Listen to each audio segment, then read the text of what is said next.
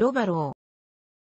ー。ロバローはアメリカ海軍の潜水艦。ガトー級潜水艦の一隻。艦名はスズキ亜目、セントロポマス科に属する大型魚、スヌークのスペイン語名ロバローにちなむ。ロバローは1942年10月24日に、ウィスコンシン州マニトワックのマニトワック造船で起工する。1943年5月9日に ES ルート夫人によって浸水し、艦長ステファン H. アンブルスター中佐、アポリス1928年組の指揮のもと1943年9月28日に収益する。ロバローはミシシッピ川をカンドックに乗せられ栄光された後、真珠湾に開港され、太平洋戦線での任務に就いた。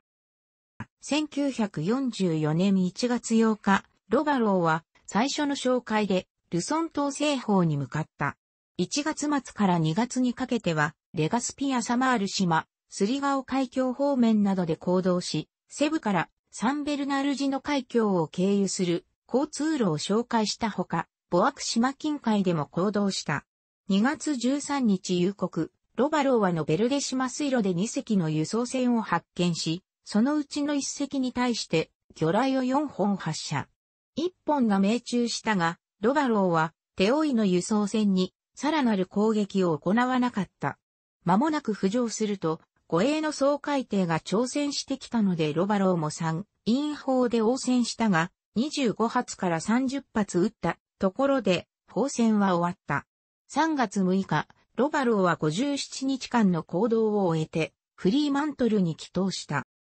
帰投後、この紹介でのアンブルスター艦長の怠慢な姿勢に批判が向けられた。2月13日の攻撃の九段のほか、ハットが探知した強力な日本艦隊に対して、他の潜水艦、フラッシャー、砲、ヘイク及びレッドフィンと違って立ち向かわなかったことなど、アンブルスター艦長の攻撃があまりにも消極的で投資がないと判断された。この方面の潜水部隊司令官少将は、太平洋艦隊潜水部隊司令官、チャールズ・エイ・ロックウッド中将に対して、アンブルスターは艦長としてはふさわしくない。アンブルスターに合う職があるなら、そこに入れてくれと要請する。その結果、3月29日付で、アンブルスター中佐は、艦長の任を解かれ、ミッドウェー島の潜水艦基地のスタッフに左遷された。後任の艦長には、マニング・キンメル少佐、アナポリス1935年組、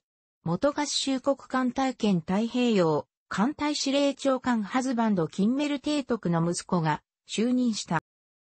1944年4月10日、ロバローは2回目の紹介で、南シナ海、インドシナ半島方面に向かった。ダーウィンを経由し、紹介海域に到着。4月24日夕方のサイゴン沖で、浮上航行中のロバローは、非58船団に属していた空母海高からの97式艦港に発見された。ロバローは先行を開始したが、対戦爆弾が左舷部で炸裂。また、乗組員がパニックに陥って機器の操作を誤ったため、過剰な浸水が発生してしまった。ロバローは深度105メートルにまで沈下したが、かろうじて機器を脱し、修理の上紹介を期限まで続けた。5月3日朝にはの地点で3隻の輸送船を発見して魚雷を6本発射したが、陸岸に当たっただけで終わった。5月8日、ロバローはの地点でジグザグかつ17ノットで航行する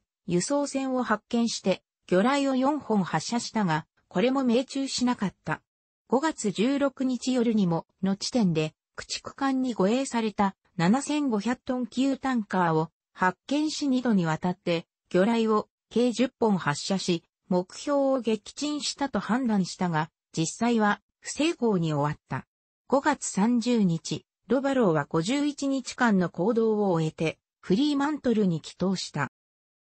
6月22日、ロバローは3回目の紹介で、南シナ海のナトナ諸島近海に向かった。ロバローは、マカッサル海峡とバラバク海峡を通過し、予定では7月6日頃に担当海域に到着、8月2日まで泊まることになっていた。7月2日、ロバローはの地点を浮上航行中にタラカン島に入港しつつあった不装型戦艦一番艦、不装と護衛の駆逐艦三隻、満潮の分け、三運を発見し司令部に打電した。不装以下は3回にわたる、今作戦に参加した後に交代し、呉に向かう途中に燃料を搭載のために入港したものであった。ロバローは報告はしたものの、結局攻撃の機会は逸したと考えられる。また、不装を護衛していた駆逐艦は爆雷を威嚇のために投下しただけだった。この時、ロバローは、ボルネオ島の真東に位置していた。その後ロバローからの報告はなく、紹介から祈祷することはなかった。ロバローは喪失したと推定された。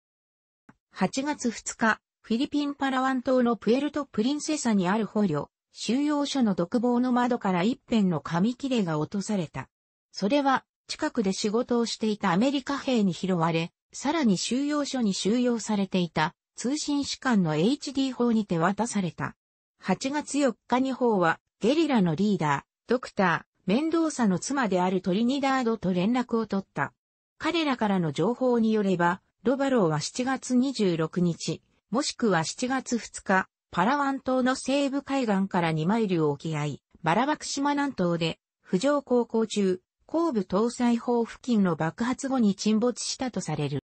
おそらく機雷に接触したものと思われる。バラバク海峡には1941年12月7日に機雷が敷設されており、1943年3月には機雷原が強化された。ロバローが海峡を通過する約4ヶ月前の1944年3月には、第3、南使い艦隊の敷設艦津軽がさらに機雷原を強化していた。キンメル艦長は漂流中に行方不明となった。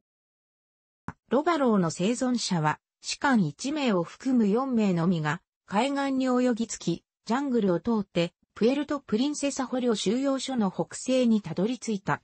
7月8日、日本の憲兵隊は4名を捕らえ投獄した。8月15日に、彼らは日本の駆逐艦によって移送され、8月19日に特設苦戦艇、高尾丸が受領した。その後は消息不明となった。ロバローは1944年9月16日に除籍された。ロバローの喪失が宣告された後、キンメル艦長の弟でバラオに乗艦していたトーマス・キンメルは合衆国艦隊司令長官兼海軍作戦部長アーネスト・キング大将直々の命により戦死の危険性が極めて少ない陸上勤務に配置替えとなった。トーマス・キンメルは海上勤務への復帰を何度も願い出たが、その都度却下された。その後、トーマス・キンメルはバーゴールの艦長に就任したが、ほどなく終戦となった。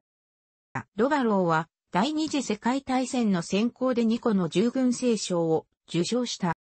楽しくご覧になりましたら、購読と良いです。クリックしてください。